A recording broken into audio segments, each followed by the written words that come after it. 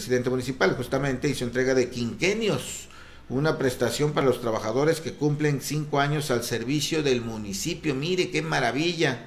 En esta ocasión se entregaron 17, ni más ni menos, quinquenios para trabajadores con 30, 25 y 20 años de servicio.